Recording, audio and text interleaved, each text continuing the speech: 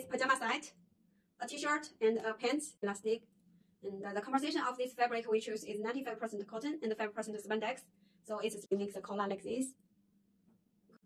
Cuff also like, like this. So on the bottom are the floral type. You can just get a few pieces to try our samples and check our quality. And also you can uh, do the wholesale and also you can custom your own design.